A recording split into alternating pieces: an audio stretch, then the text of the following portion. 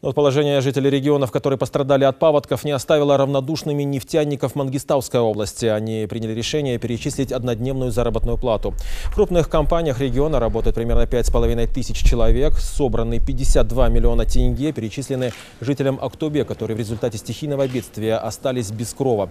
А из Шемкента в Петропавловск гуманитарный груз сегодня повезли сотрудники молодежного ресурсного центра. Вместе со студентами вузов и предпринимателями региона они собрали для пострадавших от паводка паводка жителей теплую одежду, постельные принадлежности и продукты почти на 15 миллионов тенге.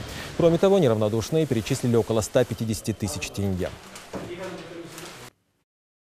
Многие граждане, более 200 человек, изъявили желание помочь, э, и также материально, и продуктами они помогали. Предприниматели тоже оказали свою помощь.